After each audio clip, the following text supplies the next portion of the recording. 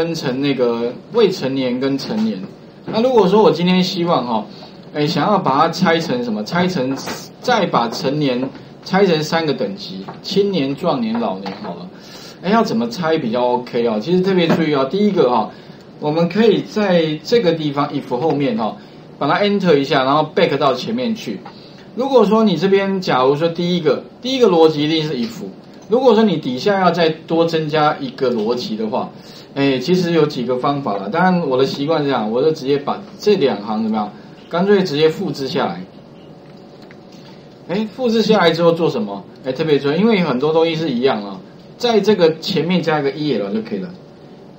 l l if l if 意思是说我的第二个条件啊，第二个逻辑判断啊。如果说这个条件，假如说，呃，再来成年里面又分成青年哦，青年是，假如说他十八岁。到三十岁好了，哎，十八岁到三十岁，所以我这个逻辑怎么下呢？如果当然有两种方法，第一个方法就是说，呃，如果这个年龄它怎么样，它大于等于十八岁，空一格之后 and and 什么呢？and 这个可以把这个拿来复制，好，复制过来，我刚刚讲过了，Ctrl 键按住哈，然后而且是小于等于三十岁的话，那我就。称它叫做什么呢？叫青年好了。OK，假设这边的话，我就多补一个青年。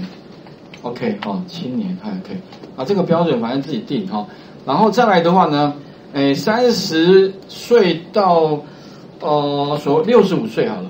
好，现在退休年龄一直要往往后延续哈，因为现在好像身体都蛮健康的，而且太早退休不知道干嘛。OK 哈，还不如可以多学一点东西嘛哈。我看在座好像有蛮多是哦，蛮资深的哦，应该这蛮好的哈。哎，那再来的话呢哈，呃，接下来就是我如果要怎么样，再多一个条件，你可以再把 L if 复制有没有？所以我的习惯是哦，选取这两行，拖拉加 Ctrl 键，哎，有没有又复制了？哎，这一招还蛮好用的，因为有时候你程式都一样，那你要一直重打，太浪太浪费时间，所以我都很快，拖拉拖拉就好了，改一下就好。那改哪些呢？如果说他是三十岁啊以上，然后六十五岁以下的话，包含六十五岁，那这个叫壮年，好，所以这边的话打一个壮，哦，哎，壮年，OK，好，那剩下来的话就老年，那不用判断了，因为这个 else 就是除此之外，剩下来的就是老年，好，OK。应该可以看得懂吧？哈，等于是成年又多了三个等级。OK，那我们把它执行一下，理论上应该它就可以看到。假设我今天输入的是三十五岁的话，诶，三十五岁应该算壮年。OK，好，壮年，正值壮年。OK，哈。那如果说三十，那三十的话，啊，对哈，好问题。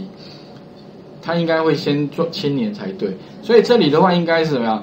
应该是呃，这个这边有等啊，这边不要等于，或者是这边应该改成三十一，对不对？比较合理啊。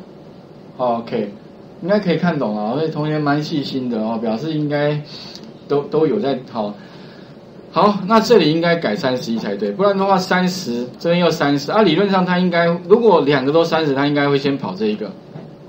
哦，因为他循序的嘛，先到这边就先输出，谁先到谁先赢。